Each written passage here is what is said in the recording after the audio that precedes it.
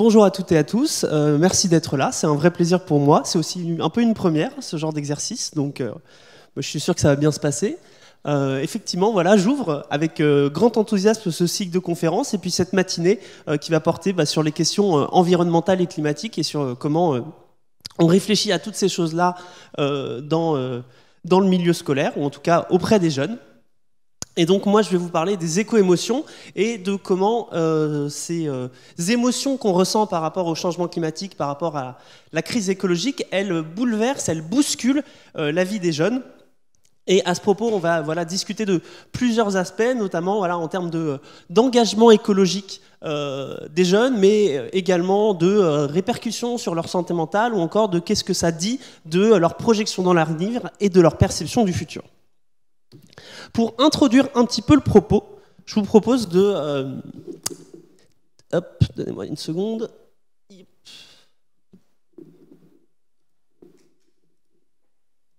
Voilà.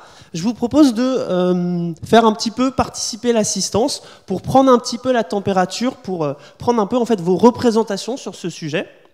Et donc j'ai ce petit booklap. Euh, L'idée c'est soit de scanner le QR code, soit de se rendre sur le site et de taper ce code-là. Pour, euh, je vais vous poser une question et voilà, l'idée c'est que vous puissiez répondre euh, et que ça nous donne des, éléments sur lesquels je, vais, pouvoir m'appuyer et puis sur lesquels on pourra discuter à l'issue de ma présentation. Je vois qu'il y a déjà 7 personnes dessus, 8. Je vais attendre encore un petit peu. 9, 10, 12. Je ne vais pas compter à chaque fois. Hop. Et donc j'ai une petite question introductive euh, à vous poser.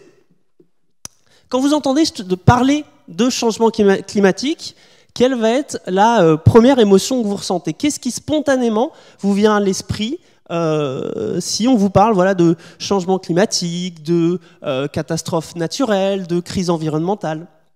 Qu'est-ce qui spontanément vous, vous ressentez euh, à propos euh, de euh, ces thématiques-là en général. On a quelques réponses, ouais.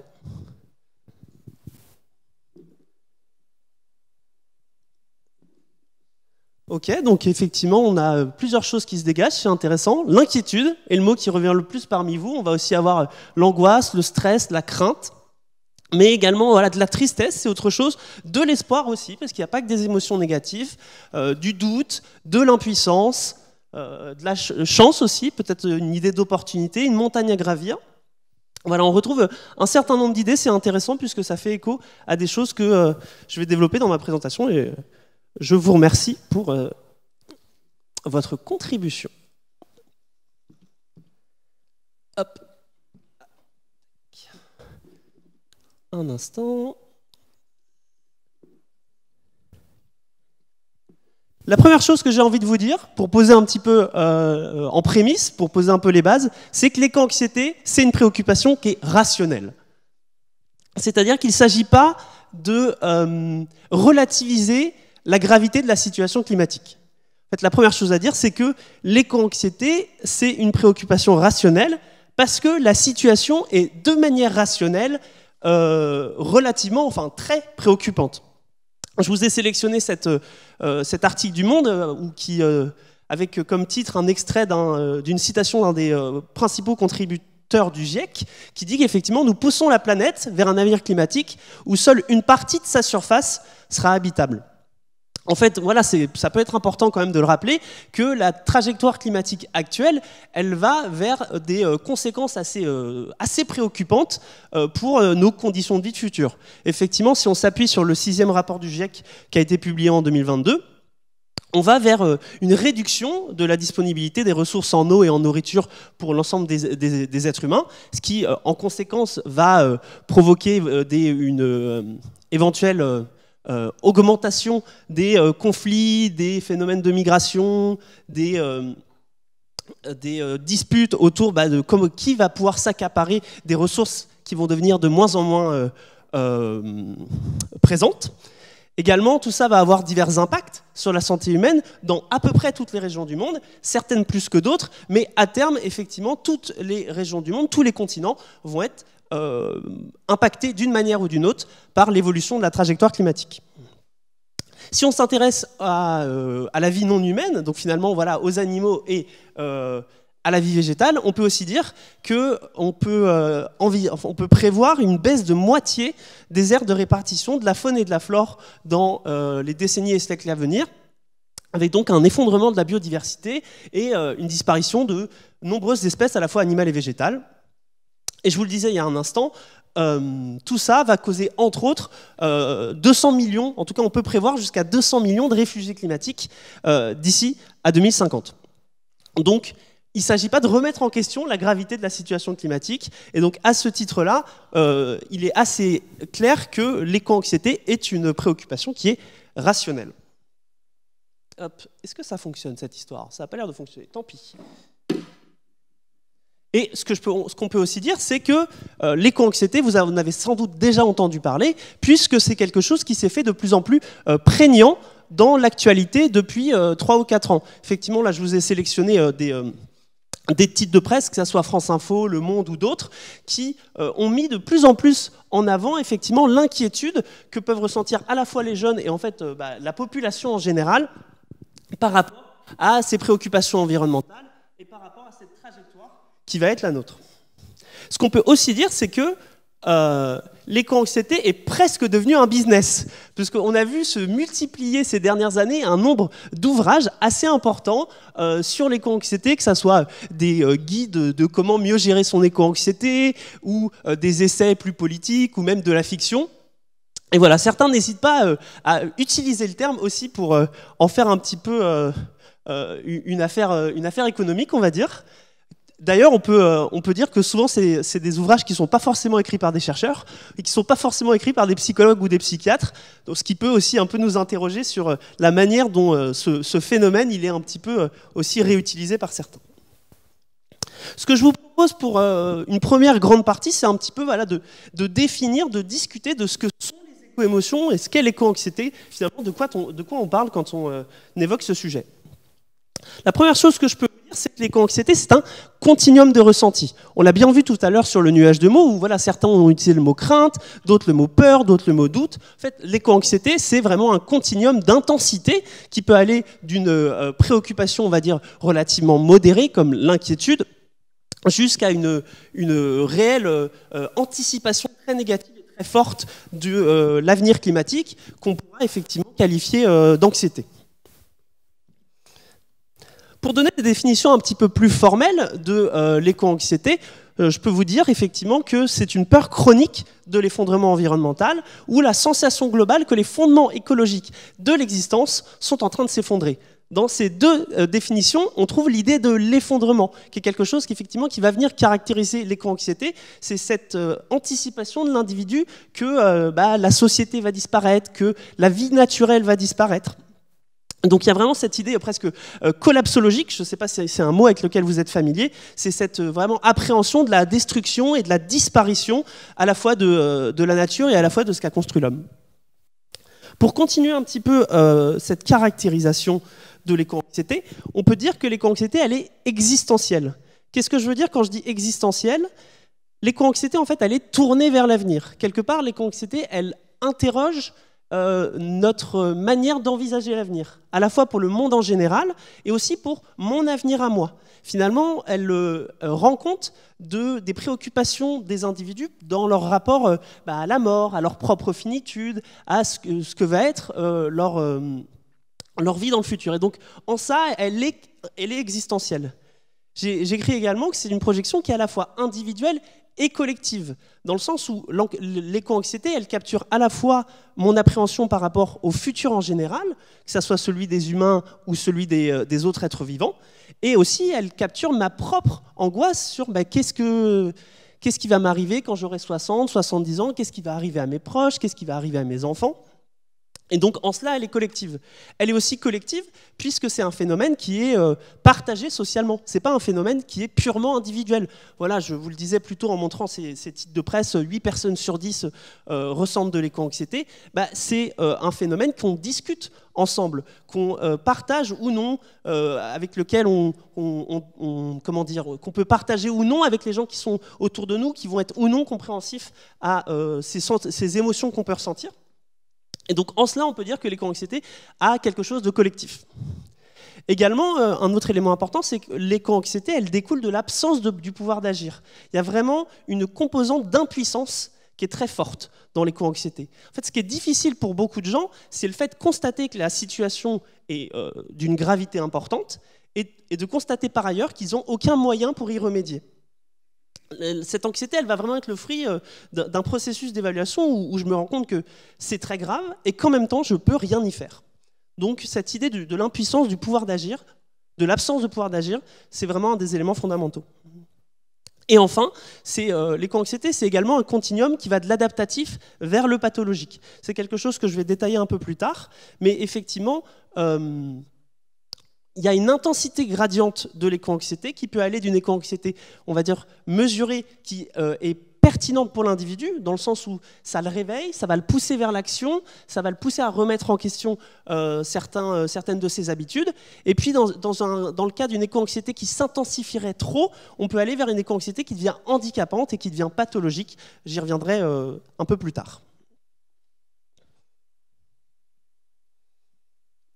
Tout au long de ma présentation, je vais illustrer un petit peu mon propos par des extraits d'entretien. Effectivement, cette année, j'ai eu l'occasion de faire euh, une enquête où j'ai euh, rencontré euh, plusieurs dizaines de jeunes, des jeunes adultes de 18 à 30 ans, et donc je vais illustrer tout au long avec des, des des citations. Et donc pour l'éco-anxiété, on a cette femme de 24 ans qui nous dit c'est la crainte des conséquences environnementales, le réchauffement climatique, la fonte des glaces, c'est beaucoup d'inquiétudes sur le futur. Il y a beaucoup d'inquiétudes sur le futur, sur comment on va retrouver notre planète, comment est-ce que nos enfants, nos petits-enfants vont vivre avec ça. Mais en fait, ce que j'ai aussi envie de vous dire, c'est que derrière l'éco-anxiété, il y a une variété de réactions émotionnelles possibles. On parle beaucoup d'éco-anxiété, euh, que ce soit euh, dans la communauté scientifique, mais aussi dans la société en général. Mais derrière ça, il y a une diversité de, réactions émotionnelles qu'on peut avoir. Et donc c'est pour ça qu'on va parler d'éco-émotion ou d'émotions climatiques pour euh, définir tous ces phénomènes affectifs, tous ces phénomènes émotionnels qui vont être significativement liés à des problèmes écologiques, à la crise environnementale, au changement climatique, etc. Et je vous propose d'en aborder un certain nombre, les principaux qu'on retrouve dans la littérature scientifique. Donc la tristesse et le deuil d'abord, puis la colère et la culpabilité, et puis enfin évoquer aussi les émotions positives, parce que tout n'est pas forcément euh, noir, en parlant de l'espoir et de la joie. La tristesse et le deuil d'abord.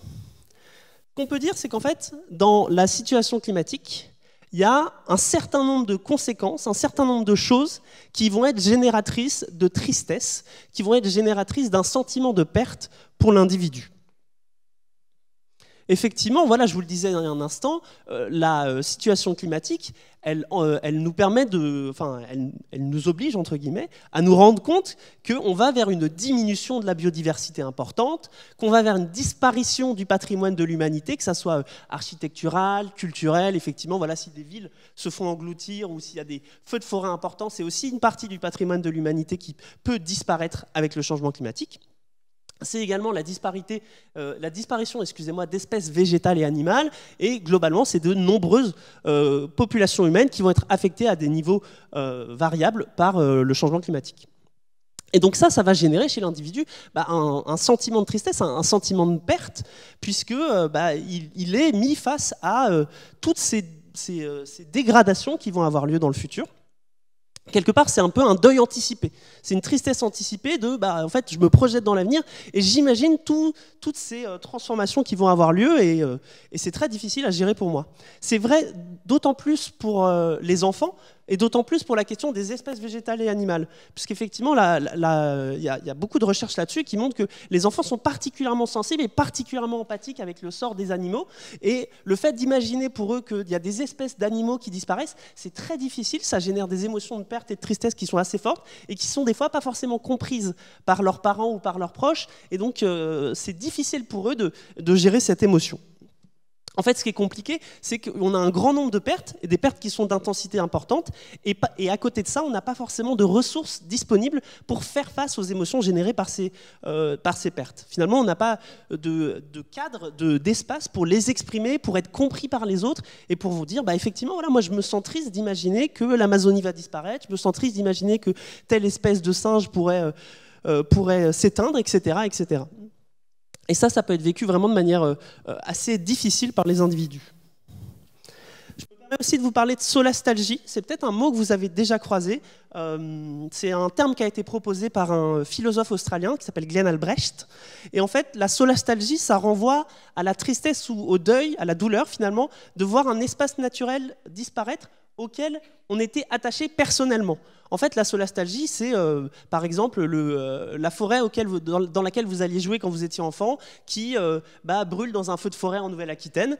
Et bah, c'est cette douleur que vous allez ressentir d'avoir perdu un espace naturel auquel vous étiez personnellement attaché. Donc finalement, voilà, c'est cette tristesse qui vous est, qui vous est personnelle et qui renvoie à vos souvenirs à vous et finalement à une partie de votre vie personnelle. J'ai pris euh, de nouveau une citation pour illustrer d'un jeune homme de 22 ans en, M2 de STAPS euh, qui me dit euh, bah, Quand j'étais plus jeune, je me disais que j'aurais une grande maison, je ferais des voyages à travers le monde, j'aurais trois, peut-être quatre enfants. Et maintenant qu'on regarde sous le tapis, bah, on prend conscience que rien n'est fait. Et en fait, voilà, c'est la tristesse de constater que la vie dont on rêvait, on doit y renoncer pour des choses qui sont plus importantes. Et je vous ai sélectionné cette euh, citation parce que on voit là-dedans qu'il y a aussi une tristesse qui est liée à mon avenir personnel à moi. Effectivement, dans la diapo précédente, je vous parlais de disparition de la biodiversité, mais dans le deuil, il y a aussi pour les jeunes un deuil d'un avenir qu'ils ne pourront pas avoir. Effectivement, cette idée que bah, on pourrait avoir des rêves de tour du monde, on pourrait avoir des rêves euh, d'une grande famille, mais quand on pense à l'évolution du climat, quand on pense à tout ça, on se dit bah, en fait, je dois peut-être abandonner certains, certains objectifs de vie, certains rêves qui m'étaient propres en raison du changement climatique. Et ça aussi, ça peut me générer une forme de deuil anticipé, une forme de tristesse. Je poursuis. Euh, j'aimerais également vous parler de colère et de culpabilité. Ce qui est assez particulier avec la colère, c'est que c'est une émotion qui est dirigée vers une cible. C'est-à-dire qu'effectivement, l'anxiété, elle, est assez, on va dire, euh, euh, globale. La tristesse, elle peut être assez globale. La particularité de la colère, c'est qu'on est en colère contre quelque chose ou contre quelqu'un. Ça peut être par exemple les proches ou les gens en général. Voilà, typiquement, ça va être des jeunes qui vous disent bah, en fait, euh, euh, je suis en colère parce que moi j'ai l'impression de faire des efforts, d'être euh, sensibilisé, mais mes parents ils jettent leur mégot par terre, etc. Ou on va dire la société en général, les gens font pas d'efforts, j'ai l'impression d'être sensibilisé et qu'autour de moi, les gens comprennent pas que, que moi ça me touche. Ça peut être aussi les institutions, les entreprises, les générations précédentes. On retrouve chez les, jeunes cette idée un peu de, se sentir trahi. En fait, effectivement, de se dire mais comment ça se fait qu'on connaisse euh, ce qui va arriver depuis 50 ans et que bah, on en soit encore là Finalement, comment ça se fait que les gouvernements n'en ont pas fait plus? Comment ça se fait que des entreprises comme, euh, je sais pas, Total ou Bouygues par exemple, euh, ont encore des politiques qui sont ouvertement anticlimatiques? Comment ça se fait que nos parents, nos grands-parents, euh, n'ont pas euh, fait bouger les lignes et qu'on en soit encore à euh, défendre le fait que le changement climatique est une réalité? En fait, derrière tout ça, il y a vraiment un processus d'identifier des responsables dans la colère. On est en colère contre des gens parce qu'on a identifié que c'est de leur faute. Et donc, ça, ça, rend la colère un peu, ça fait la particularité de la colère, cette question effectivement d'identifier des responsables et donc de diriger cette émotion vers quelqu'un ou quelque chose. Vous l'avez peut-être euh, remarqué, du coup, ça fait de la colère une émotion qui est, plus politique que les autres. Parce qu'en fait, elle va être relativement liée à la manière dont on perçoit la situation, à notre idéologie, à nos opinions. Et donc, effectivement, là, on met en évidence la dimension morale des, émotions climatiques. Effectivement, on, ressent ou non les émotions climatiques selon euh, notre grille de valeurs, selon notre idéologie, selon les choses qui sont importantes pour nous. Et donc, effectivement, le fait voilà, d'avoir plus ou moins de colère envers les entreprises, envers les institutions, envers les générations précédentes, c'est aussi euh, assez euh, lié à notre euh, lecture, à nos valeurs personnelles et à notre vision politique. Et puis, lorsque la responsabilité elle est dirigée vers soi-même, eh ben, ça devient de la culpabilité. La culpabilité, finalement, c'est quand euh, je, prends conscience que je fais partie des responsables, que je, devrais en faire plus et que je n'en fais pas plus parce que je n'y arrive pas ou parce que je ne veux pas y accorder du temps. Et donc, effectivement, là, on a là aussi ce euh, processus d'identification de responsabilité, mais qui va vraiment euh, venir vers soi. Ce qu'on peut dire aussi sur la colère, c'est que comme c'est une émotion qui est plus politique, plus morale que les autres, c'est aussi une émotion qui est davantage liée à, euh, l'action collective, à l'engagement militant, à l'engagement politique, et euh, je vais y revenir euh, un peu plus tard. Là aussi, je vous ai sélectionné deux citations. pour la colère, on a cette femme de 23 ans qui m'a déclaré bah, En fait, moi, je suis énervé dans le sens où, comment dire, aujourd'hui, c'est vraiment c'est le pouvoir et l'argent qui mènent la barque. Puis pour la culpabilité, on a cette femme de 28 ans euh, qui m'expliquait que bah, j'adore la montagne et ça m'a marqué puisqu'une fois on allait en week-end en montagne avec mon copain et j'ai pleuré dans la voiture en culpabilisant d'aller à la montagne en me disant que là on fait nos petits égoïstes, on prend un van pour aller se faire deux jours de rando. Donc voilà, effectivement, on retrouve vraiment cette idée que à l'émotion est associé un acteur euh, auquel on, on, donne de la responsabilité, auquel on dit bah, c'est toi qui devrais faire des choses, pourquoi tu n'en fais pas davantage?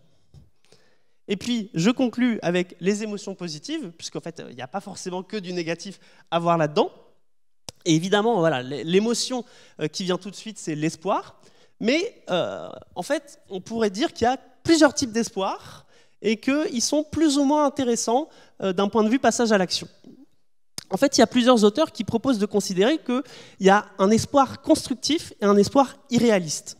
L'espoir constructif, c'est l'espoir où on se responsabilise, où on s'inclut dans la solution. En fait, on pourrait résumer, ça comme euh, un espoir où on se dit, on se retrousse les manches et on travaille ensemble. On doit trouver des solutions ensemble, chacun doit faire sa part, chacun doit, part, euh, doit prendre part à la solution. Et euh, ces auteurs opposent à ça un espoir plutôt irréaliste, qui est en fait un espoir qui déresponsabilise.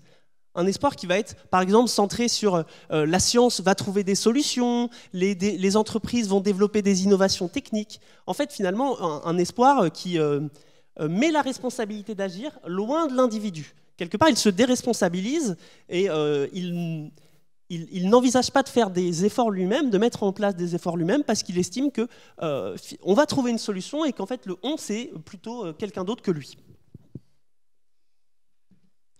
Là aussi, du coup, on, constate que l'espoir, il est euh, lié à d'autres notions euh, que je développe un peu euh, depuis tout à l'heure. Cette question bah, en fait, de la projection dans l'avenir, de comment on envisage le futur ou pas, et donc comment ça va venir moduler le fait qu'on ait de l'espoir ou non.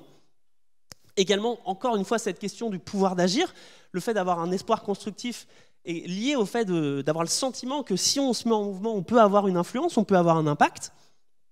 Et puis également, on a aussi euh, le rapport à la politique qui fait son retour avec bah, euh, le fait d'avoir confiance envers les gouvernements, le fait d'avoir confiance envers les innovations techniques qui peuvent provenir des entreprises. Tout ça dit quelque chose aussi de, nos valeurs et de, nos rapports à la politique.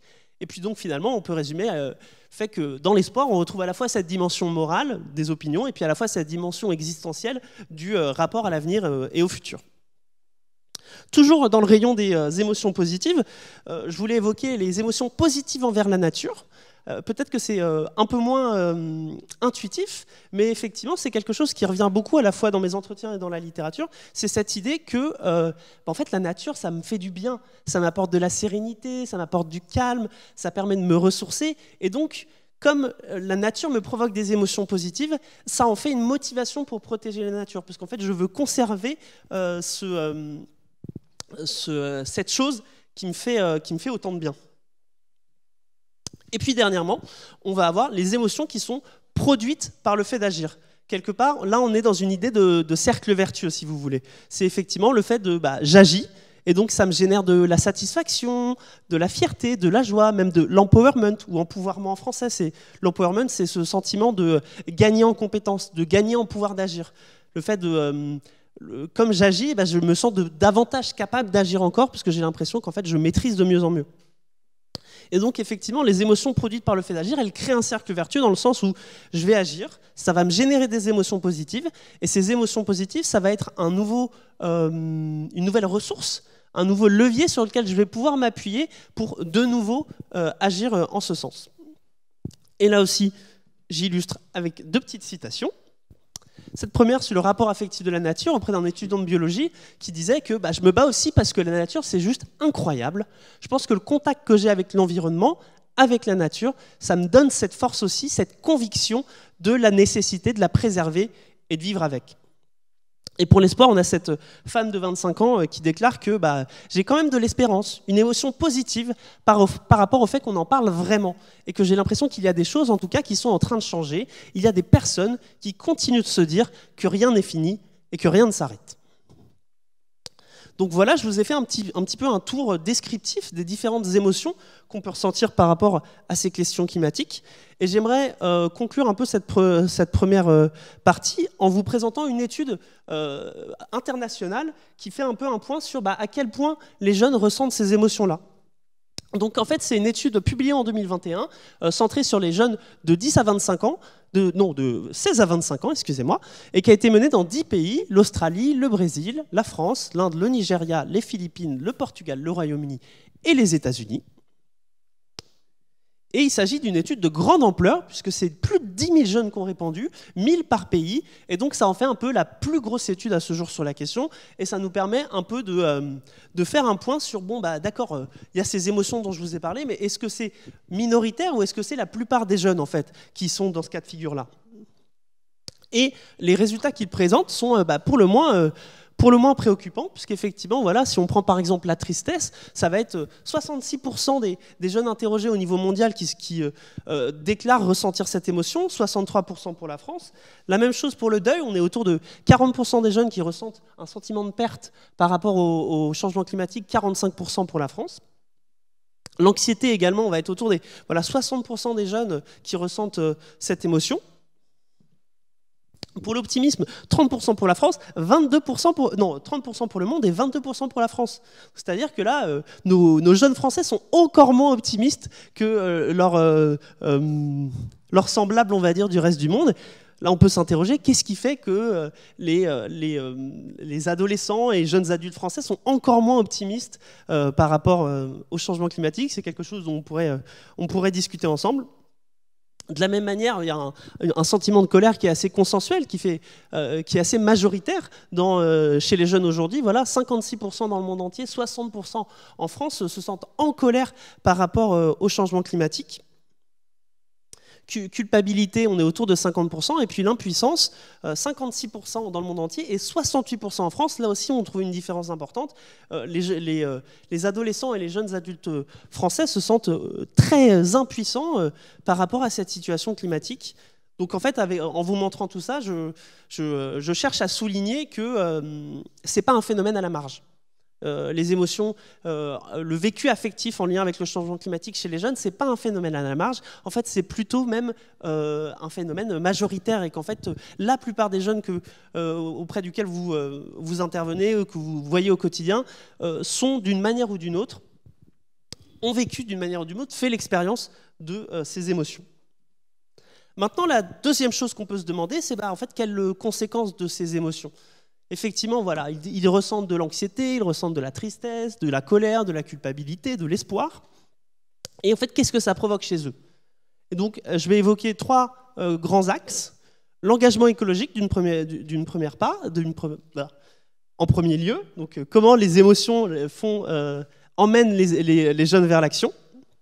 Secondement, plutôt en termes de conséquences sur la santé mentale, avec cette question de l'éco-anxiété pathologique.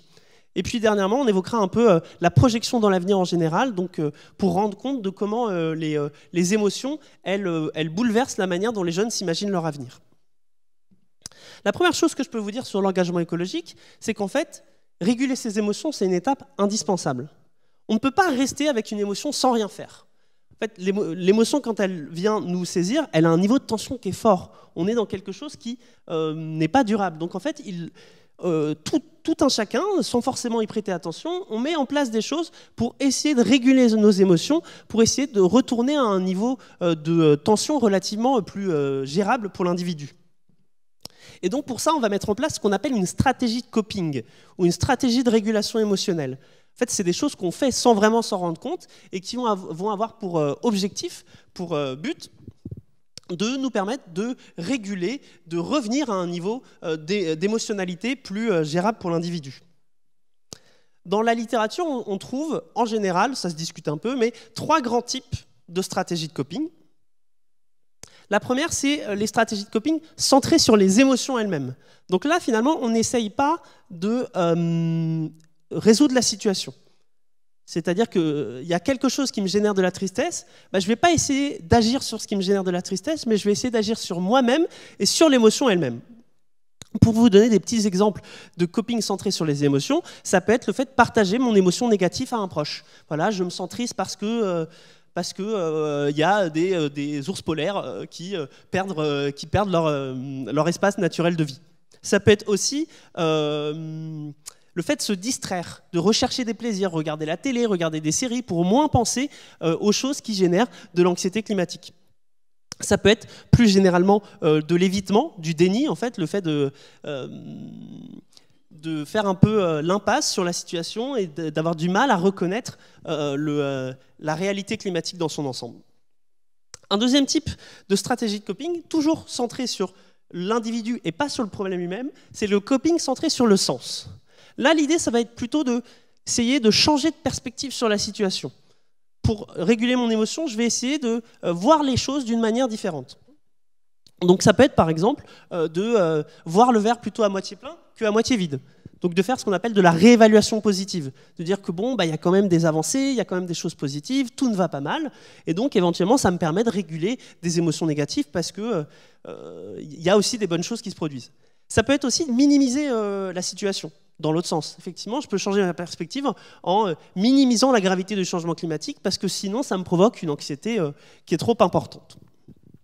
Et puis troisièmement, on a le coping centré sur le problème on a le coping qui fait passer à l'action, qui fait mettre en place des choses pour régler le problème. Et donc finalement, le lien entre les émotions et l'engagement euh, des, jeunes et puis même de, tout un chacun, on va le trouver dans ce coping centré sur le problème. C'est finalement ce processus où euh, je me dis que j'ai une émotion et qu'en fait, cette émotion, j'en fais une ressource, j'en fais une, une, clé, un levier pour me faire passer à l'action et pour me faire aller vers euh, davantage de comportement et davantage d'engagement sur les questions environnementales. Et alors une question qu'on pourrait se poser, c'est bah, qu'est-ce qui fait qu'on s'engage dans un type de stratégie de régulation émotionnelle plutôt qu'un autre? Et là, je n'ai pas de réponse simple à vous fournir. Effectivement, c'est une question qui est très euh, discutée euh, dans la communauté scientifique. Et c'est difficile d'identifier précisément pourquoi euh, certains individus vont plus réguler leurs émotions en, en, en se distrayant, en évitant d'y penser, et comment d'autres vont plus passer à l'action même si on peut quand même évoquer effectivement plusieurs facteurs qui vont rentrer en ligne de compte, bah, notamment la question du, pouvoir d'agir, du sentiment de se sentir euh, en capacité d'avoir une influence si euh, on met en place euh, des choses. Également, il y a la question de la perception de ma responsabilité, c'est-à-dire que si j'estime que c'est pas à moi de faire des efforts, que c'est pas moi qui suis responsable, que c'est que le gouvernement ou que les entreprises ou que les autres et que de toute manière c'est pas mon problème, bon bah ça va pas forcément me pousser à aller vers l'action. Et puis, euh, globalement, il y a tout ce qui est lié aux normes sociales et à l'influence sociale en général. On évolue dans des contextes qui ont des normes, et effectivement, selon les gens avec qui on, s'entoure, nos amis, notre famille, ça va être plus ou moins être propice au fait euh, de mettre en place des comportements, puisqu'on va être plus ou moins, on va dire, jugé par les autres, ou au contraire valorisé par les autres dans le fait de mettre en place des comportements. Et puis plus généralement, on peut dire qu'il y a tout un contexte de vie qui euh, va euh, euh, limiter ou non les individus dans le fait d'aller vers, vers l'action ou non. Effectivement, on peut parler de, bah, de priorité de vie compétitive, c'est-à-dire que bah, pour des individus qui, par exemple, n'ont pas d'argent du tout, effectivement, l'écologie, c'est pas leur priorité. Quelque part, il y a cette idée un peu bah, la fin du mois avant la fin du monde, et en fait, il y a des contextes de vie plus ou moins favorables qui laissent plus ou moins de place pour pouvoir réfléchir à ces choses-là et pour pouvoir s'engager sur ces choses-là. Là aussi, pour illustrer, j'ai des citations on a une pâtissière qui nous dit qu'effectivement, bah, euh, j'essaye de coup de tendre vers ça, là-dessus, j'essaie de m'engager localement pour être un peu plus dans la partie action, et qui fait que tu sors un peu de cette éco-anxiété et que c'est plus joyeux d'agir. Moi, j'aime beaucoup cette citation parce qu'on trouve vraiment cette idée que euh, on peut faire une transition, on peut transformer des émotions négatives en émotions positives en passant à l'action. Il y a ce côté effectivement où on peut, voilà, euh, utiliser une émotion négative comme l'anxiété comme une ressource pour passer à l'action et pour la transformer en quelque chose de plus positif, en du bien-être et de la joie. Et pour le centring, le, centring, le coping centré sur les émotions, j'ai pris cette citation d'une médecin qui dit que, bah, au bout d'un moment, je me suis dit qu'il fallait juste fermer les yeux, plutôt jouer la carte du je ne vois pas que la carte du euh, je me rends malade. Et je vois pas parce qu'au bout d'un moment, ça affectait, ça affectait aussi ma santé mentale, le ressenti dépression en fait. Et donc ça m'offre une transition toute trouvée euh, pour vous parler effectivement des, euh, des cas de figure où l'éco-anxiété, elle vient elle devient problématique pour la, santé mentale des individus. On parle donc d'éco-anxiété pathologique. Je vous le disais tout à l'heure, il y a un continuum. Et en fait, il y, a, un moment où l'anxiété, elle peut devenir trop forte et où elle est plus adaptative. Elle devient donc pathologique. En fait, pourquoi on dit adaptatif? Parce que l'idée, c'est de se dire qu'à un niveau modéré d'éco-anxiété, eh ben, elle permet d'aller à l'action, elle permet de mettre, en place qui sont plus euh, de mettre en place des choses qui sont plus en phase avec nos valeurs, et donc elle est adaptative. Mais si on va vers un niveau d'intensité trop élevé, eh bien, en fait, elle va plutôt devenir paralysante, et dans ce cas-là, elle permet plus de euh, mettre en place des choses qui sont en phase avec nos valeurs. Et donc, dans ce cas-là, on peut la qualifier de pathologique. Plus précisément, euh, on va identifier trois critères pour euh, identifier le, caractère pathologique de, l'éco-anxiété. Premièrement, en fait, on va avoir l'intensité et la durée de la souffrance subjective de l'individu effectivement, il y a cette idée d'intensité parce que voilà, euh, une éco-anxiété mesurée, elle, peut permettre d'être régulée par le coping et d'aller vers l'action, alors que si ça devient trop intense, effectivement, on n'arrive plus à mettre en place des, stratégies pour gérer ça. Il y a cette idée de la durée aussi, puisqu'on peut imaginer en fait avoir des pics d'éco-anxiété qui signifie pas forcément qu'on est dans une éco-anxiété pathologique. Typiquement, voilà, on peut ressentir des fois des pics d'éco-anxiété en lien avec des événements d'actualité euh, très préoccupants. Ça ne veut pas forcément dire qu'on est dans une éco-anxiété pathologique. Mais lorsque on a une intensité forte qui s'installe dans la durée, là, on peut parler d'une éco-anxiété pathologique. Ce qui définit aussi l'éco-anxiété pathologique, c'est les répercussions fonctionnelles pour l'individu. En fait, l'éco-anxiété, elle est plus adaptative quand ça euh, pose des problèmes à l'individu, quand ça l'empêche de, dormir, quand euh, ça réduit son appétit, quand ça cause des, euh, soucis relationnels avec les proches. C'est ça aussi qui va définir le caractère pathologique de l'éco-anxiété, c'est le fait que ça ait bah, des répercussions sur la vie quotidienne de l'individu globalement, on peut dire que ça devient pathologique quand cette souffrance, elle permet plus l'adaptation et en fait, elle cause plus de problèmes qu'elle n'en règle. On peut continuer à définir un petit peu l'éco-anxiété pathologique en évoquant un peu les différentes euh, dimensions de cette éco-anxiété. Premièrement, il y a cette idée bah, de l'omniprésence de l'enjeu écologique, le fait que l'individu va avoir tendance à relier toute situation aux questions environnementales et qu'en fait, ça va jamais vraiment quitter son esprit. Il y a un côté très voilà, euh, euh, récurrent, euh, obsessionnel euh, de la question environnementale qui va s'infiltrer un peu partout dans la vie de manière inconfortable et, et presque handicapante, on pourrait dire. Il y a aussi évidemment bah, les humeurs et les émotions négatives, l'anxiété, le stress, la dépression, la culpabilité, l'impuissance. En fait, ça revient à ce que je vous disais tout à l'heure, mais là, à un niveau d'intensité beaucoup plus élevé. Effectivement, euh, on ressent tous une galerie d'émotions par rapport à ces questions-là, mais dans le cas des gens qui sont dans, euh, des répercussions de santé mentale, ça va être à des niveaux d'intensité qui euh, sont beaucoup plus élevés. Il y a également une remise en question et une perte de sens. Ça, c'est important puisqu'effectivement, il y a cette idée que quand on bascule vers euh, des formes d'éco-anxiété fortes, euh, il y a un espèce de bousculement identitaire qui se produit. C'est-à-dire qu'effectivement, il y a une espèce de remise en question globale de mais pourquoi je fais ça? Pourquoi je ferais des études si de toute manière euh, on, va tous vers une fin certaine? Où est-ce que je trouve le sens? Qu'est-ce que j'ai envie de faire? De ma vie. Et donc, effectivement, l'éco-anxiété, elle vient aussi capturer euh, cette, perte, de sens. C'est d'autant plus vrai pour les adolescents qui sont dans une période de transition où déjà ils vivent un bousculement identitaire du fait de passer de l'identité d'enfant à celle d'ado puis celle d'adulte. Donc ça vient en fait s'additionner à déjà une période qui est euh, identitairement complexe pour euh, les adolescents qui doivent chercher l'adulte qu'ils vont devenir et vient à s'ajouter à ça, bah, dans un contexte climatique, euh, qu'est-ce que j'ai envie d'être et qu'est-ce que j'ai envie de faire. Et puis, je vous le disais tout à l'heure, il y a des répercussions sur la vie sociale. Effectivement, le fait de, euh, d'être en conflit avec ses proches puisqu'ils euh, ont des comportements qui nous semblent totalement aberrants au regard euh, des enjeux euh, climatiques et puis aussi le fait que nos proches peuvent ne pas être du tout compréhensifs avec le vécu qu'on peut avoir du, changement climatique, ne pas comprendre, nous juger, voire être en conflit assez explicite par rapport à ça. Et donc il y a des vraies répercussions qui sont décrites euh, dans beaucoup de travaux sur effectivement le fait que les gens qui sont dans une éco-anxiété forte vont avoir tendance bah, euh, à être davantage en conflit avec leurs proches, à euh, être moins dans la communication avec les autres, à plus pouvoir profiter des moments de vie collective parce qu'en fait ils sont toujours on va dire à tourner en boucle sur les questions sur les questions environnementales et finalement voilà la vie sociale en est fortement impactée. Je vous disais aussi, il y a des manifestations somatiques, comme des troubles du sommeil, une perte d'appétit, etc. Voilà des choses qui sont assez, assez classiques, on va dire, dans la plupart des, des troubles anxieux et qu'on retrouve aussi dans l'éco-anxiété à un niveau pathologique. Et puis, bah, puis je vous le disais tout à l'heure, bah, il y a cette question de la paralysie, en fait.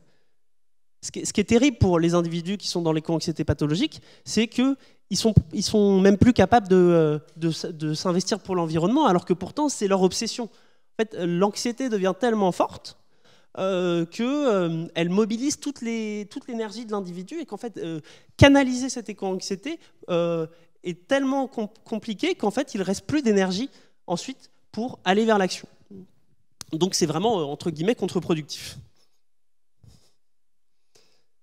Et enfin, j'aimerais conclure un peu cette deuxième partie en vous évoquant un peu la question de la projection dans l'avenir et en fait de comment euh, le rapport que les jeunes vont avoir aux questions environnementales, ça les questionne, ça les, interroge sur, euh, leur perception de l'avenir. Effectivement, je vous le disais tout à l'heure, les éco-émotions, elles sont à la fois morales et existentielles. Donc, pour les jeunes, ça les questionne un petit peu bah, sur leur avenir, de qu'est-ce que j'ai envie de faire et de comment sera le futur. Là-dessus, je m'appuie beaucoup sur euh, les résultats de mon enquête, où effectivement, je vous le disais plus tôt, j'ai fait une trentaine d'entretiens auprès euh, de jeunes de 18 à 30 ans, et euh, ça m'a permis un peu d'investiguer cette question de bah, comment les jeunes perçoivent l'avenir, et puis comment ils, perçoivent l'influence que l'évolution du climat va avoir sur leur propre vie. Et est-ce que c'est quelque chose qui rentre en compte? Est-ce que c'est quelque chose qui est plus ou moins central ou plus ou moins périphérique? Ce qu'on peut dire déjà premièrement, c'est que sur la perception générale du futur, on voit coexister une, vision optimiste et une vision pessimiste de l'avenir. C'est-à-dire qu'effectivement, sur 30 entretiens, euh, j'en ai eu 27 où euh, euh, les, jeunes que j'ai interrogés me, décrivent une vision plutôt pessimiste de l'avenir, avec voilà, une dégradation des conditions de vie, une augmentation des conflits politiques, des États qui pourraient s'effondrer, effectivement, des choses comme bah, de toute manière, nous, on n'aura jamais de retraite parce que d'ici là, tout se sera cassé, cassé la figure, etc. Et on en a 14 qui vont décrire une vision un peu plus optimiste euh, de l'avenir, tournée vers la sobriété, vers le fait d'être plus dans le collectif, ou de trouver des solutions techniques qui vont nous aider. Puis vous remarquerez que 27 plus 14, a priori, ça ne fait pas 30. Donc, chez beaucoup de participants, ils coexistent un petit peu ces deux visions, c'est-à-dire qu'il y a des choses qui les, rendent pessimistes, et en même temps, il y a aussi de l'espoir. C'est-à-dire que euh, en fait, les, émotions, elles, elles, coexistent entre elles. Les gens sont à la fois dans l'anxiété et à la fois dans l'espoir. Et il euh, va y avoir différentes composantes de la situation qui vont générer soit des émotions positives, soit voilà, une projection positive dans l'avenir, soit plutôt une appréhension et, euh, et du pessimisme. Puis je les ai également du coup interrogés sur euh, selon eux, comment ça rentre en compte dans leur vision de leur propre futur, de comment ils s'imaginent euh, faire leur vie? Premièrement, sur l'aspect un peu professionnel, je les ai interrogés sur euh, bah, dans, les choix de, certaines études ou non, dans le choix que tu veux faire, faire de ce que tu veux faire comme métier plus tard, bah, comment les questions environnementales elles rentrent en ligne de compte? Et là-dessus, j'ai un certain nombre de mes, participants qui, m'ont expliqué qu'effectivement, bah, euh, par exemple, dans le choix d'un employeur, dans le choix de travailler pour telle entreprise ou non, la question environnementale, elle est hyper importante. Et, euh, euh, un bon nombre d'entre eux, 11 sur les 30, ne se sentiraient pas du tout à l'aise à l'idée bah, de, de, de passer 8 heures par jour à travailler pour une entreprise qui n'est pas alignée avec leurs valeurs d'un point de vue environnemental.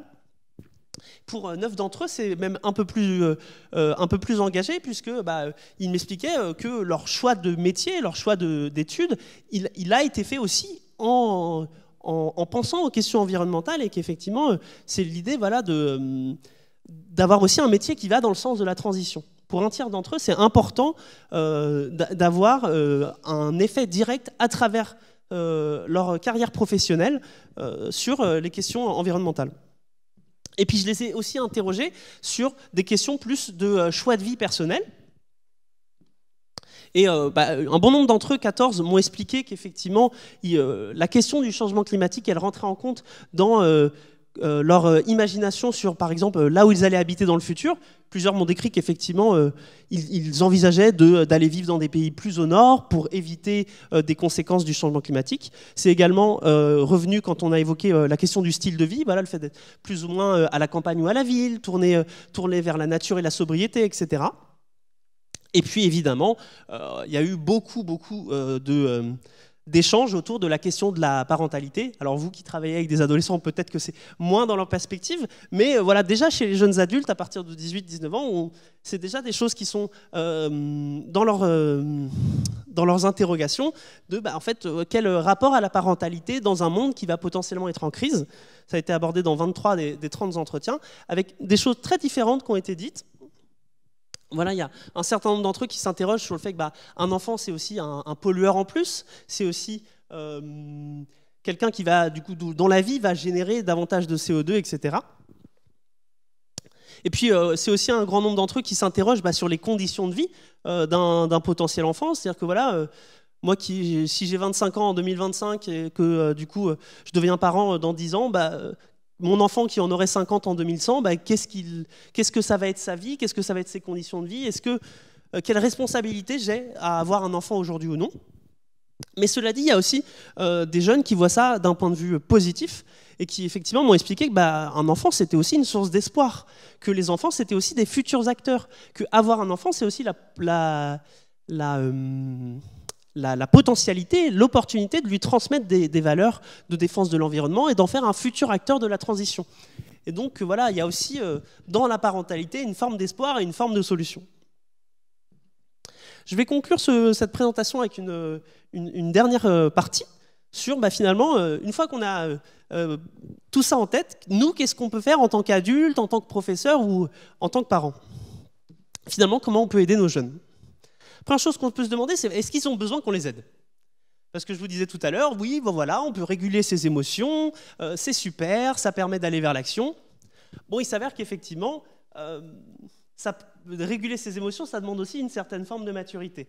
Et euh, pour les plus jeunes, ça peut être justement difficile de faire ce processus de reconnaître son émotion, de l'identifier et d'en faire quelque chose.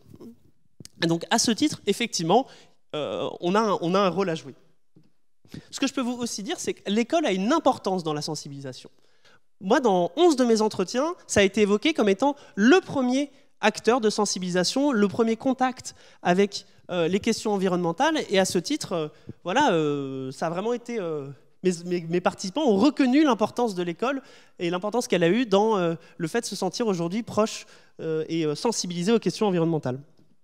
Là aussi, je vous ai mis deux petites citations. On a cette femme de 25 ans, étudiante en psycho, euh, qui nous dit que voilà, euh, alors moi j'ai été sensibilisée assez jeune. En fait, quand j'étais au collège, j'ai fait une sixième classe de développement durable. On avait une prof qui nous parlait un peu de développement durable. On a fait des projets, on a fait une pièce de théâtre sur le développement durable, sur les catastrophes naturelles, etc. Après, apparemment, ça marche pas toujours, parce qu'on a aussi cette femme médecin qui nous dit qu'il y a eu tout ce côté, comme je te disais, collège, lycée, on était un peu sensibilisés, mais on était surtout saoulés, euh, pour être honnête. Donc il y a aussi un peu un effet, on pourrait dire, de, réactance, entre guillemets, de, trop plein, quoi, trop, trop sur le climat, euh, ça, peut être vécu de manière aussi un peu, euh, un peu contre-productive pour les jeunes. Et là-dessus, d'ailleurs, on a une étude australienne qui a été publiée en 2021 où ils ont justement interrogé des jeunes sur bah, euh, qu'est-ce que tu penses de la manière dont on parle du changement climatique à l'école? Et ils mettent en évidence euh, des effets relativement contre-productifs de euh, la manière dont c'est abordé, en tout cas en Australie. Peut-être que ça dit rien de commencer en France, mais effectivement, ils relèvent un premier, axe un peu sur le bah, quoi faire. Effectivement, les jeunes, ils se sentent submergés par une saturation d'informations sur le changement climatique, sont aussi frustrés par une présentation fragmentée de ces informations. Ils, décrivent dans cette étude le fait que euh, ce qu'on leur apprend à l'école sur le changement climatique, ça leur euh, crée le sentiment de ne pas pouvoir agir, et puis aussi que euh, ça leur génère des émotions dont ils ne trouvent pas d'espace pour les exprimer. Effectivement, que ça génère de l'anxiété, de l'impuissance, de la colère, et que le, cadre scolaire leur offre pas forcément le moment, l'espace pour exprimer ces émotions. Et puis la deuxième grande idée, c'est euh, ce fait d'être confronté à un fossé générationnel. C'est déjà quelque chose que j'ai discuté un peu plus tôt. C'est le fait effectivement d'être frustré quand, en tant que jeune, ils aient la perception de ne pas pouvoir agir. C'est le sentiment d'être trahi par les générations précédentes avec des, émotions d'indignation et de colère. J'en ai déjà parlé, je ne vais pas forcément euh, revenir dessus. C'est aussi un peu une désillusion des figures d'autorité. C'est voilà, c'est cette prise de conscience que euh, bah, euh, l'école n'a pas toutes les solutions, que le gouvernement n'a pas toutes les solutions, que les parents ne sont pas infaillibles. Et puis c'est aussi voilà, une confrontation avec l'ignorance des parents. Et ça c'est quelque chose que j'ai aussi identifié beaucoup dans mes propres entretiens, c'est le fait qu'en fait bah, les parents, ils n'ont pas eu le développement durable à l'école, ils n'ont pas eu le changement climatique. Et souvent effectivement, euh, il s'opère un peu une, euh, éducation euh, vers le haut. C'est-à-dire que c'est les jeunes qui vont éduquer leurs parents de manière plus ou moins efficace, on va dire, selon l'hostilité des, des, parents à ces thématiques-là. Et effectivement, Certains décrivent que euh, euh, bah, ils essayent d'en parler, mais euh, ils ne sont pas du tout compris, ils sont, jugés, et, qu'effectivement, leurs parents ne sont pas du tout réceptifs à ces questions-là. Donc finalement, comment on peut aider nos jeunes? Donc, Je vais essayer de vous présenter quelques pistes, en, toute humilité, puisque finalement, voilà, moi je ne suis entre guillemets que chercheur, je ne suis pas auprès des jeunes au quotidien, donc c'est presque plus vous les experts, mais j'essaie de vous donner quelques pistes qui vont peut-être pouvoir créer de la discussion ensuite. La première chose à dire, c'est de valider l'émotion. De ne pas minimiser l'émotion euh, des, jeunes. Leur dire qu'en fait, c'est rationnel, que c'est normal de ressentir tout ça. En fait, c'est leur donner un espace pour, euh, pour discuter et pour partager ces émotions. Donner un espace de sécurité où ils se sentent bien, où ils se sentent compris, euh, pas jugés, voire un espace collectif où ça peut être un moment de partage entre plusieurs jeunes pour discuter de ça et donc permettre déjà de valider cette émotion et euh, euh, de, ne pas la minimiser. Également, c'est parler du positif. Euh, puisqu'il y a beaucoup d'émotions négatives qui peuvent être ressenties, et puis ça peut être aussi notre responsabilité de pointer les choses qui vont dans le bon sens pour un peu cultiver leur espoir en fait. C'est voilà, euh, euh, peut-être que oui, on peut présenter euh, la situation telle qu'elle est, mais aussi mettre l'emphase sur les avancées, que ce soit associative, scientifique, industrielle, mettre l'emphase sur les choses qui vont dans le bon sens toujours dans cette idée, c'est parler des acteurs qui font une différence. C'est finalement donner un peu des, rôles modèles euh, euh, aux, jeunes, leur dire que bah, en fait, si tu as envie de bouger, tu peux euh, voir ce que, vont faire ces associations, tu peux te renseigner sur les avancées scientifiques, et ça donne un peu des idées aux futurs adultes qui vont devenir sur comment s'engager pour l'environnement. Plus globalement, en fait, c'est les aider à identifier des solutions. Ça peut être à des niveaux très différents. Au niveau local, ça peut être voilà, euh, euh, les aider pour faire changer les comportements à la maison, pour discuter avec les parents. Puis à un niveau plus large, on peut imaginer pour des adolescents leur dire qu'ils peuvent écrire à leurs députés, par exemple, ou qu'ils peuvent se rapprocher d'associations locales qui travaillent sur l'environnement pour découvrir ce qu'ils font. Et puis c'est aussi valoriser ce qu'ils font déjà. C'est aussi euh, cultiver leur, leur, sentiment de compétence en valorisant ce qu'ils font déjà et en générant des émotions positives sur ce qu'ils peuvent déjà faire aujourd'hui. Plus généralement, en fait, c'est cultiver l'espoir, cultiver l'envie d'agir et les aider à identifier les choses qui ont du sens pour eux. Je vous le disais, c'est euh, les aider à développer un sentiment de compétence et essayer de stimuler leur, leur pouvoir d'agir, les faire se, sentir euh, en capacité d'avoir une différence sans forcément tout leur mettre sur les épaules. Ça, c'est aussi un élément important, puisque moi, c'est quelque chose que j'ai retrouvé dans les entretiens, c'est euh, certains jeunes qui se plaignent du fait qu'on on attend un peu tous deux aussi. quoi puisqu'on sait que les jeunes sont sensibilisés sur le climat plus que leurs aînés, et donc c'est aussi, voilà, euh, pour certains, une pression d'avoir l'impression de devoir euh, trouver toutes les solutions à des problèmes qu'ils n'ont pas causés. On revient à cette notion un petit peu de fossé générationnel. C'est aussi euh, nous-mêmes être des modèles, en fait en tant qu'adulte, en tant que euh, bah, euh, modèle de proximité, c'est aussi à nous de montrer euh, comment faire, d'être le plus irréprochable possible et en fait d'être des sources d'inspiration de quoi faire et de, comment mieux faire. Et puis enfin, c'est aussi ancrer ça dans le collectif. Je vous disais tout à l'heure que les émotions, elles sont une dimension collective parce qu'on les partage, parce qu'on peut les exprimer, parce qu'elles sont liées à notre avenir collectif.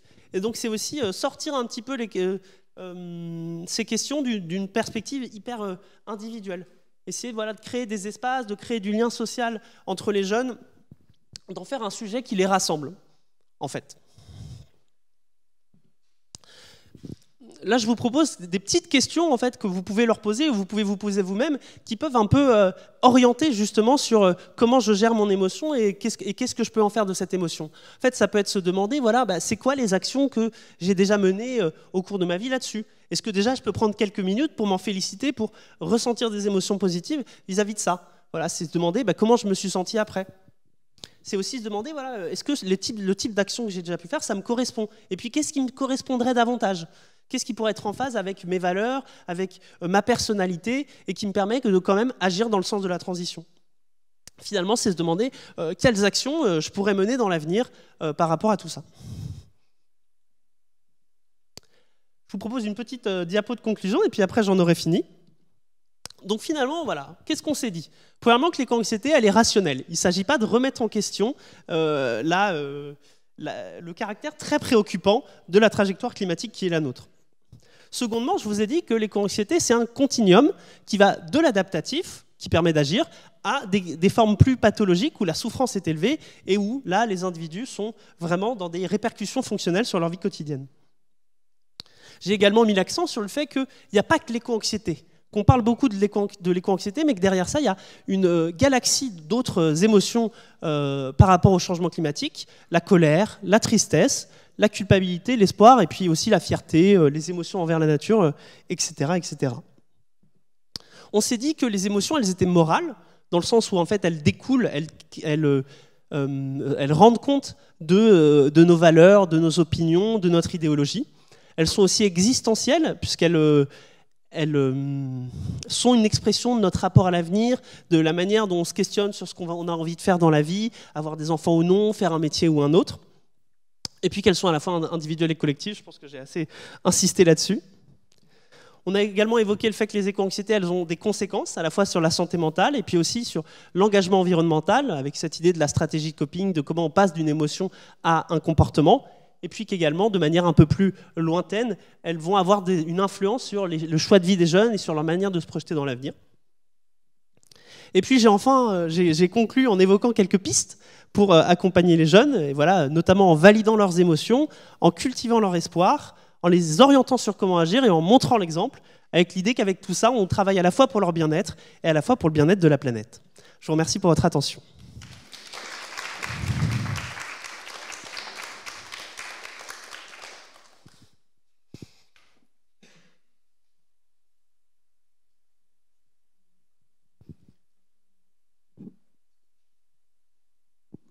Merci beaucoup pour cette euh, présentation. Y a-t-il des questions?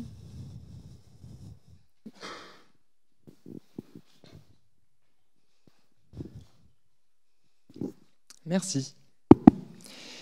Euh, merci beaucoup pour cette conférence. Je l'ai trouvée assez euh, complète, instructive aussi. J'ai une question sur les éco-émotions que vous avez évoquées. Ouais. Vous avez évoqué en premier la tristesse et le deuil. Il me semble que dans, le deuil, une des réactions les plus courantes, c'est le déni, qui n'est pas du tout la même chose que, euh, que l'indifférence. C'est-à-dire le fait qu'on soit affecté par le deuil euh, fait qu'on nie en fait ce qu'il y a en face de nous, c'est-à-dire on n'accepte pas la réalité, on a les yeux en face des trous. Et donc j'aimerais savoir en fait quels sont les et, donc pour revenir sur l'éco-anxiété précisément, c'est-à-dire euh, non, bah, effectivement il y a des problèmes, mais je décide de ne pas les voir. Euh, donc ça vous l'avez évoqué quand même. Mais de ce fait, j'aimerais poser la question quels sont les, les enjeux de ce déni, c'est-à-dire euh, quand on voit qu'un jeune est en souffrance et qu'il décide de nier ses enjeux climatiques, euh, quelle, est la réponse à avoir? Est-ce qu'on le force à avoir les yeux en face des trous euh, au risque d'induire justement une plus grande éco-anxiété euh, bah, bah, bah, ah, ben, J'aurais aimé ne, pas voir ça finalement. Mm. J'espère que ma, question est claire. Mais... Ouais. Pour moi, dans l'indifférence, il y a deux cas de figure. En fait, il y a le cas de figure, on va dire, ça se place un peu sur un axe de de la perception de responsabilité et de pouvoir d'agir des individus. C'est-à-dire qu'effectivement, il y a des gens qui sont des indifférences qui, qui n'est pas du déni. C'est-à-dire qu'effectivement, moi j'ai eu des, participants qui m'ont dit, bah, en fait, oui, il y a le changement climatique, et en même temps, on ne pourra rien y faire. Euh, et je me sens pas responsable moi-même, donc je vois pas pourquoi je, je ressentirais de l'éco-anxiété pour un truc sur lequel j'ai pas d'action. Et de l'autre côté, on va avoir des gens effectivement où là on peut plus questionner le déni, puisque euh, effectivement, il euh, y, a moins cette, euh, euh, acceptation de l'événement et on est plutôt effectivement dans de la pensée magique. donc effectivement, c'est ou technosolutionnisme de dire non mais de toute manière, on va trouver des solutions effectivement qui éloignent un peu l'objet du changement climatique lui-même. Alors après, sur comment réagir directement auprès des jeunes, je, suis preneur s'il y a des gens qui ont des éléments de réponse après, puisque voilà, étant euh, moi, euh, pas autant auprès des jeunes que vous, je suis pas sûr d'avoir euh, la meilleure réponse. Mais je dirais que faut souvent respecter le processus. C'est-à-dire qu'il faut, de manière générale, je dirais que en tant que psychologue, l'idée c'est qu'on ne doit jamais brusquer les gens, on doit jamais appliquer quelque chose de manière brutale. Et euh, que fondamentalement, non, il ne faut pas forcer de l'éco-anxiété. Et un jeune qui est effectivement peut-être dans un processus de déni pour le moment, eh ben, il, a peut-être son chemin personnel à faire pour aller vers une conscience plus importante des enjeux et que euh, ce n'est pas forcément euh, notre position d'adulte de bousculer ce processus-là. Mais encore une fois, je ne suis pas certain de ce que je vous dis. Et s'il y a d'autres personnes dans la salle qui ont quelque chose à rajouter là-dessus, ça pourrait être très intéressant. C'est en rapport avec la question ou c'est une autre question? Oui, d'accord. Ah,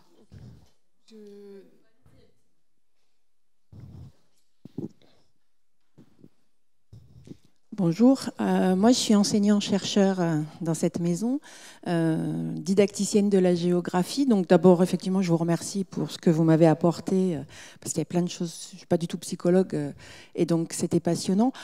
Après, ce qui m'a et ça revient exactement sur ce que vous venez de dire, il y a plein de petits mots qui m'ont embêté en tant que formatrice d'enseignants, notamment le fait que vous avez recouru au terme d'information. Et moi, il me semble effectivement qu'il faut plutôt recourir à des savoirs et que l'école, elle est là pour, alors moi je dis construire des savoirs. Euh, et, et, donc, en fait, moi, ce qui me me gêne, c'est donc de réfléchir à, et ça revient à ce que vous dites, et vous en savez peut-être plus que moi là-dessus, c'est comment on enseigne dans un contexte d'incertitude.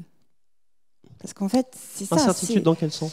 Eh ben, on ne sait pas ce qui va devenir de cette planète. En fait, on est en transition. Qu'est-ce que c'est que cette transition? Je pense que c'est pas la première fois que l'homme est dans un processus de transition. Euh, d'ailleurs, est-ce qu'il y a une transition ou des transitions? Bien sûr. Euh, et donc, euh, je suis pas une grande spécialiste des questions socialement vives, mais en histoire-géographie, c'est quelque chose qui revient souvent. Et il y a d'autres thématiques, d'autres savoirs qui sont enseignés, qui, donc qui sont à peu près dans la même euh, euh, idée. Et, donc là, c'est de se dire on change de paradigme en fait, on va vers un monde inconnu, semble-t-il. Donc on est dans un contexte d'incertitude. Et comment euh, justement l'école n'a pas à apporter des informations? Les, les, élèves, les étudiants, ils ont ces informations à la télé. Et justement, à mon sens, c'est quel pas de côté doit mener l'école pour pas être dans cette idée de d'information, mais bien d'arriver avec des savoirs euh, et, de donc d'être surtout autour d'une formation à l'esprit critique, plus que comme vous semblez le dire, mais c'est normal, c'est pas votre euh, domaine et restez dans le vôtre, vous êtes performant, il n'y a aucun souci là-dessus. Euh, mais voilà, c'est effectivement c'est savoir comment on forme justement à, pas. On peut pas mettre tout sur le même plan, sinon on tombe dans les fake news. Et c'est pour ça que l'information me gêne beaucoup. Et, que, euh, et donc, quels sont les savoirs? Alors, vous nous en avez donné beaucoup autour de l'éco-anxiété. Mais euh, donc, l'idée, c'est pas tant. Euh, ce serait plutôt d'utiliser ce que vous avez proposé pour réfléchir à, et former à l'esprit critique et toute cette réflexion autour du changement climatique, etc c'est une remarque plus. Que je, je, vous remercie, vraiment, j'abonde dans votre sens euh, du début à la fin. Effectivement, je pense que c'est un peu aussi euh, euh, mon propos de fin de dire qu'il faut les aider à identifier des pistes d'action, puisque je suis, je suis, je suis d'accord avec vous, en fait, finalement, l'information est déjà. J'avais pas cette nuance d'information-savoir, je vous remercie de l'apporter, puisqu'effectivement, ça, ça alimente la réflexion de se dire bah, comment on transforme ces informations générales en des savoirs, et puis des savoir-être, des savoir-faire et, et, des, et des, des comportements, des pistes d'action. Donc vraiment, je vous remercie pour votre intervention. Oui, je voulais juste compléter. Oui, effectivement, euh, la connaissance est importante, euh, l'esprit critique aussi, mais peut-être euh, dans ce qui était proposé, il y aurait quelque chose aussi à, récupérer pour, pour répondre à la question des, des, jeunes qui seraient dans le déni. Il me semble qu'il y a un truc intéressant, c'est aussi le côté émotion positive qui émerge souvent. Enfin, moi, je l'ai compris comme ça, parce qu'avec les connaissances que j'ai sur euh, l'éducation au développement durable, euh, la sensibilisation qu'on peut avoir à, l'environnement ou à la nature Et donc, euh, se sentir touché par la nature, se sentir sensibilisé par, par des éléments concrets en fait et réels pourrait peut-être transformer des émotions positives et, et, changer le déni sous une autre forme, aller vers du désir, vers voilà, une réflexion. Mais effectivement, après, il faut compléter avec les connaissances et l'esprit critique. encore une fois, je vais complètement dans votre sens. Effectivement, il y a tout ce champ de recherche qu'on appelle la connexion à la nature, l'inclusion dans la nature. C'est le fait de développer cette sensibilité, de dire, bah, en fait, il n'y a pas les humains d'un côté et la nature de l'autre, mais en fait, les humains font partie de la nature. Et c'est vrai qu'il y a euh, pas mal de, tentatives d'intervention qui ont été euh, euh, proposées euh, dans la communauté scientifique, notamment chez les, plus petits, en maternelle ou en début de primaire, sur effectivement travailler, valoriser ce, sentiment de filiation à la nature et le fait que ça peut après emmener vers une trajectoire générale d'être sensibilisé, d'être attentif et d'avoir une posture plus globale de respect de l'environnement. Donc effectivement, les deux vont très bien ensemble, je suis d'accord.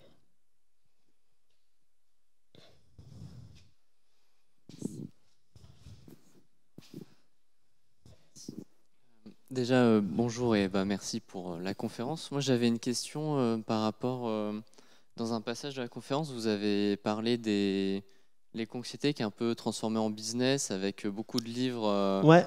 de, et donc de personnes qui ne sont pas scientifiques qui en parlent. Et donc, ce que j'aimerais bien savoir, parce que là, vous n'en avez pas parlé pendant la conférence, c'est du coup, on se retrouve avec quoi comme support qu'on pourrait montrer, par exemple, à des élèves euh, Qu'est-ce qu'il faudrait faire attention dans ces ouvrages? Est-ce qu'on est un peu resté sur, euh, voilà, c'est fait en business, mais pas qu'est-ce qui est fait, euh, qu'est-ce qu'il faut regarder et qu'est-ce qu'on doit faire attention dans ce qui peut être utile pour montrer pour les enfants, les collégiens c'est vrai que j'ai été un peu rapide et peut-être un peu trop critique. je pense qu'il n'y a pas forcément tout acheté dans ces ouvrages. je pense notamment, il y en a un qui est peut-être plus à vous conseiller que les autres, euh, qui est pour le coup écrit par une psychologue en vérité. Euh, excusez-moi, ça arrive. Un peu, un peu long. Hop, allez, hop, tac. Peut-être le troisième là-haut, qui est lui écrit par une psychologue clinicienne, euh, petit guide de, de, sur ou petit guide de vie pour éco-anxieux, qui éventuellement pourrait être une ressource. Et puis après, il y a pas mal de, podcasts aussi. Je pense notamment effectivement à une pédopsychiatre qui travaille aux États-Unis mais qui est française, qui s'appelle Laïlia Benoît, qui a intervenu euh, à plusieurs reprises euh, dans des podcasts et qui elle travaille beaucoup et vulgarise beaucoup autour de comment on en parle vraiment aux enfants, parce que voilà, elle a cette casquette de pédopsychiatre. Donc là aussi, je pense que s'intéresser un peu à ces travaux pourrait être une bonne idée. J'ai plus le nom du podcast en tête, je pourrais le retrouver, mais euh, il y a une semaine ou deux, elle a intervenu dans une émission pour pour en parler, elle, a aussi fait un podcast euh, avec Chaleur Humaine, qui est le podcast du monde sur le changement climatique. Elle a aussi fait une intervention sur euh, l'éco-anxiété et les éco-émotions auprès des jeunes. Donc voilà, ça c'est des pistes où effectivement ce, celui-là aussi. Mais c'est vrai que j'avais envie d'envoyer un peu une balle entre guillemets sur, euh, sur le fait que on a un concept scientifique qui a du coup rejoint, on va dire, qui, a fait sa place dans la société en général, et du coup très vite c'est réutilisé, c'est marketé pour en faire quelque chose qu'on peut vendre aux gens. Et en, qualité de chercheur, je, trouve ça très agaçant. Et donc j'avais un petit peu envie de, euh, de, le mentionner rapidement. D'accord, bah, merci beaucoup. Est-ce qu'il y a une ultime question?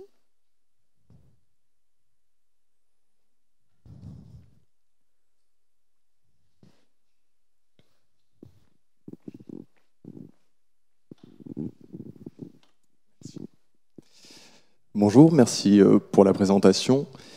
Euh, alors moi, ma question, c'est euh, quelle est la place de l'enseignant pour accompagner les élèves dans leur éco-anxiété sans la creuser? Parce que vous avez dit que les parents étaient mal formés, mais la plupart des enseignants sont aussi peu formés, ou quand ils se pensent formés, ils ne le sont pas forcément. ou en tout cas, ils ne sont pas forcément acteurs, même dans leur vie personnelle. Quand on voit les, les parkings alors qu'il y a des transports en commun qui arrivent juste devant les établissements, on se dit qu'il y a quand même un grand chemin à faire.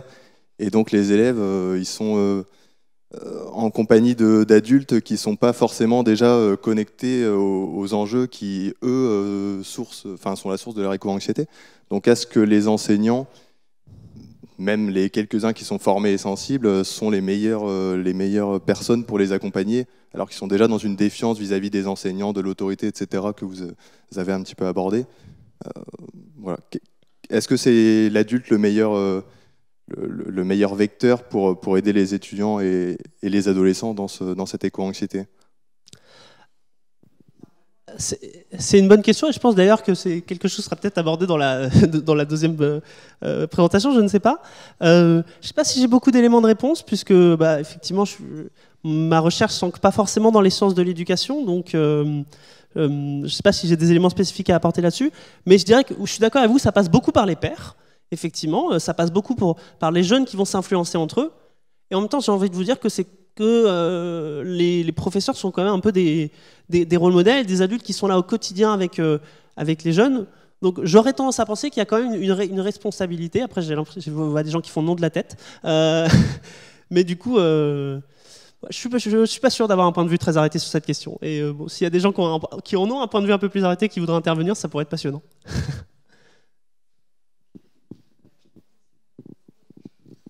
Merci. Bonjour et merci pour votre présentation. En fait, c'est euh, plutôt pour, euh, si je peux me permettre, vous, vous apporter aussi euh, de, peut-être des pistes.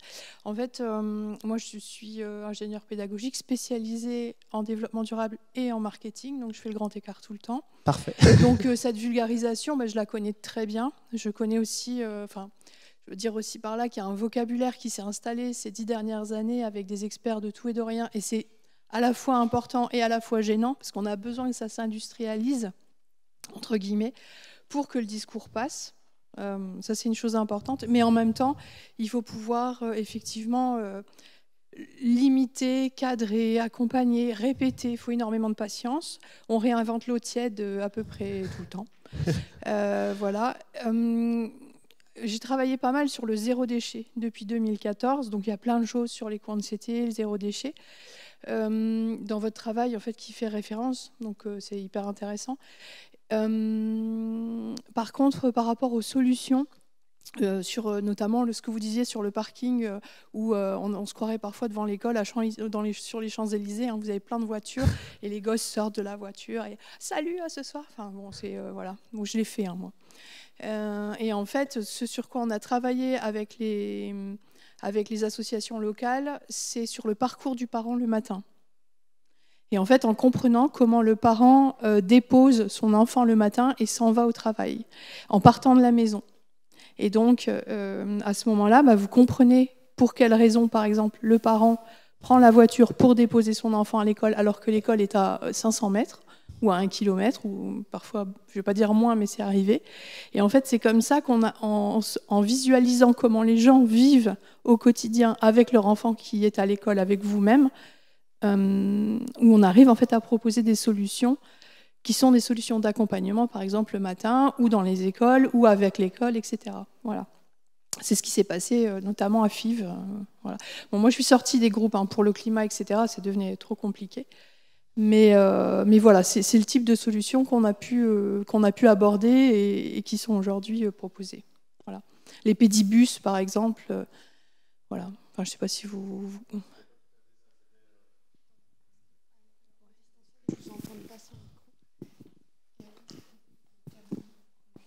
Alors juste pour la mobilité, c'était pas tout à fait ça mon exemple, c'était la frontière entre les profs et les élèves. Moi je suis dans un établissement où il y a le tram devant, qui passe devant le lycée cette année, euh, les étudiants prennent le tramway pour la plupart. Et moi, j'ai été le seul prof cette semaine euh, à prendre le tram. Euh, donc, est-ce que enfin, les élèves ont, déjà, sont en contact toute la journée avec des adultes qui viennent en SUV pour une grande partie d'entre eux? Et donc, déjà là, pour les élèves qui sont sensibles, la barrière est, cassée entre l'éducateur qui veut sensibiliser au développement durable et les élèves qui sont dans le transport en commun, qui pour la plupart en plus ont des leviers d'action très faibles dans les zones sociales où, ils évoluent et où ils vont évoluer dans leur euh, monde professionnel à eux. Ils seront probablement euh, rarement euh, cadres de la fonction publique. Quoi. Euh, donc est-ce que la, la barrière, elle n'est pas déjà posée de base finalement entre les profs et les élèves? C'était un petit peu dans ce sens-là mon exemple de la mobilité.